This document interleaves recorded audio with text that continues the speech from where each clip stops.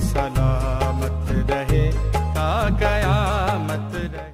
Doctor तारुल Qadri साहब जो हैं, वो पाकिस्तान के एक बहुत बड़े उल्मा और एक स्कॉलर के तौर पे, एक डेमोक्रेट लीडर के तौर पे जो है, ना सिर्फ़ पाकिस्तान, बल्कि तमाम दुनिया में वो एक पाकिस्तान की पहचान बने हुए हैं।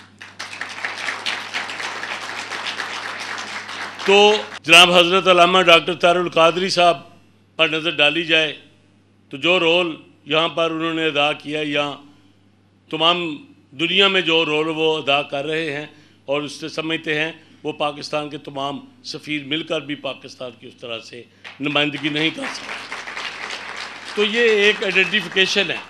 दिस इज़ द आइडेंटिफिकेशन कि मेरी पहचान पाकिस्तान, क्योंकि वो जहाँ जाते हैं तो वो पाकिस्तान की पहचान है और पाकिस्तान उनकी पहचान है।